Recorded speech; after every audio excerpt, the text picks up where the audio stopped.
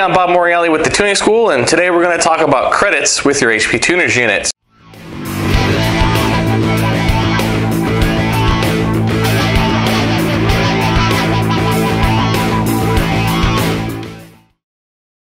Number one, how many credits comes with the unit? Comes with eight credits. Now, eight credits is enough to license four vehicles. And what that really tells you is that we normally see two credits needed per vehicle. On some rare occasions, if you do a, uh, like a brand new vehicle, you might find that it requires four credits. But for the most part, two credits per vehicle is how it works.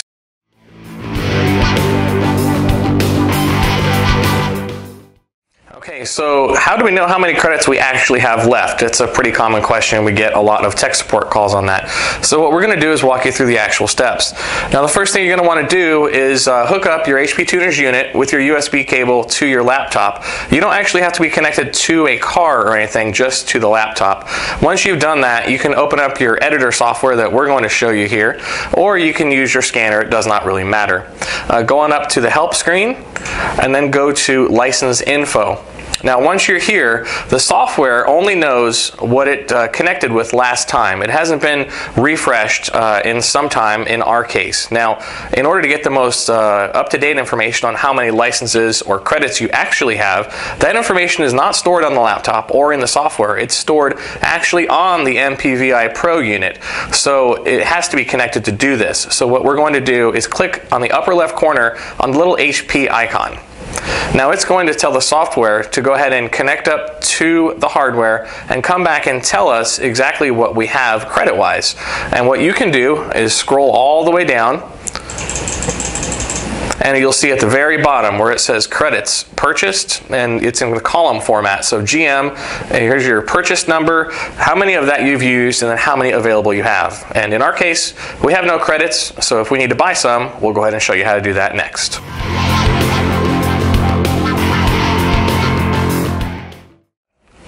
All right, so now that we know that we have no actual credits left available on our unit and we have a car coming in that we want to tune soon, we're going to go ahead and teach you how to go ahead and buy some. So the first step is going to be to head on over to the Tuning School's website. Go to thetuningschool.com and now we have on our homepage here, there's a link for buy credits.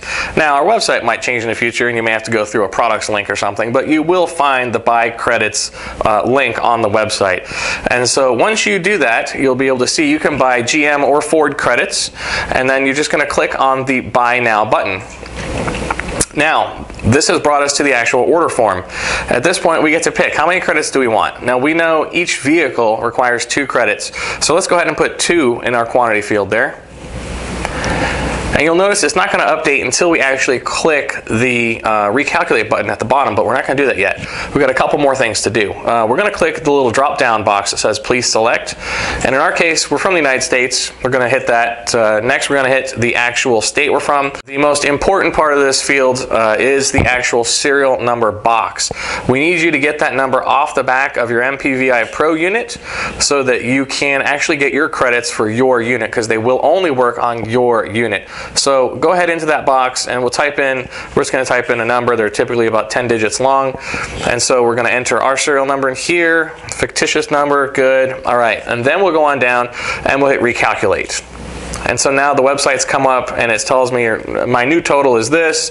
I have my credits uh, ready to be purchased. I'm going to scroll on down and I'm going to go to payments. Now at this point, we don't need to walk any further because you would be able to go through and pay with PayPal or your favorite credit card or whatever you'd like to do.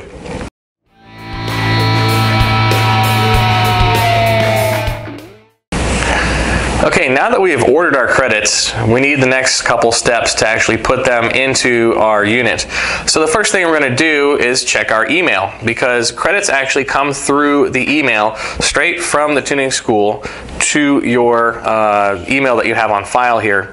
So uh, in our case here, we've got our uh, new credits have arrived and we see here we have a new application key. Now the application key is, is a long and complicated one, so we always recommend you just highlight it by left clicking and dragging and then we right click and copy. And now we're going to go on over to our editor. Now you can use the scanner, but in our case, we already had the editor open. So we're going to go up to the update application key link right where we were. And we have the old application key here. We just right click and we're going to go to paste. And then we're going to click OK. Now, here's what's happened. The software has a new application key entered into it. However, it doesn't really go active until it talks to the hardware again, which is the next time you connect to your vehicle, or you can do it right now if you want to click the little HP logo on the upper left corner again. It will then go tell your hardware, your MPVI Pro unit, that you have purchased more credits and that you have them available. Now, those credits will not be stored on the laptop, they're actually stored on the hardware, which is good for you because that means that wherever you go, all you have to do is take your hardware with you, and you can use basically any laptop. As long as you enter your application key with your serial number and they match, it'll work just fine.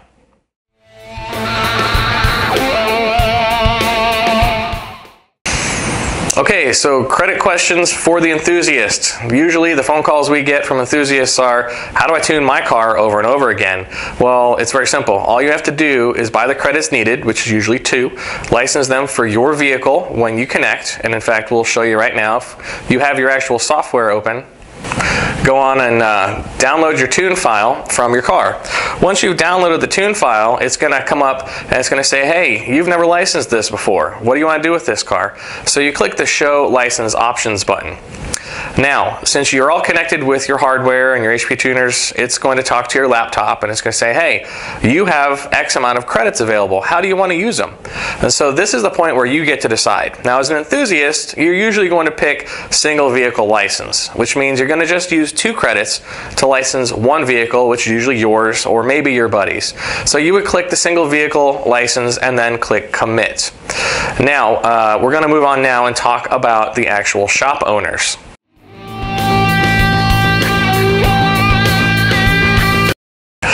All right, shop owners, we're talking to you for just a minute. Now, shop owners usually buy credits in packs, usually of uh, 6 or 12, depending on what model year they're going to want to unlock. So for our example, we're going to pick um, a 2004 GTO. Let's just say you're a shop and you know that that's a car that you frequently get.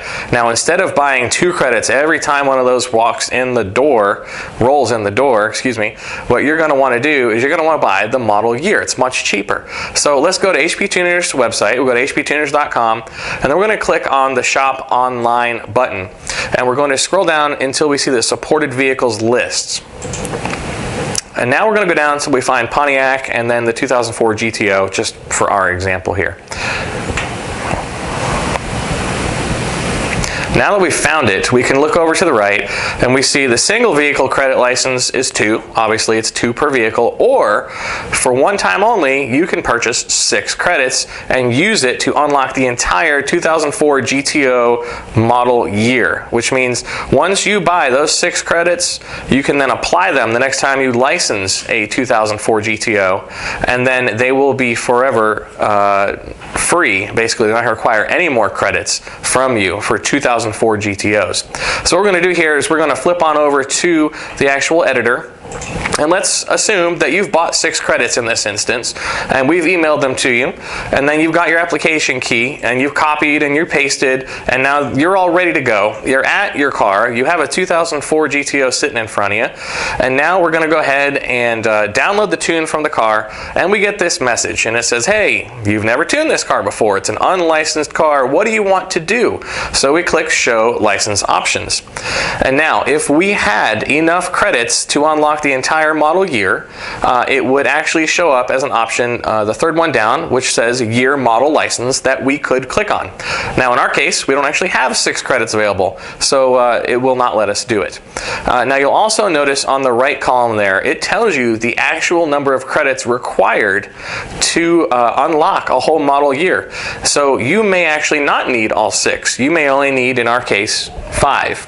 And the reason for this is every time you make a purchase of two credits towards that model year, a little bit goes towards unlocking it. But it is much cheaper and much quicker if you just bought all six up front and went ahead and unlocked the whole model year. So you would then hit commit for model year, and then the next time a 2004 GTO rolled into your shop, you would not have any licensing requirements whatsoever.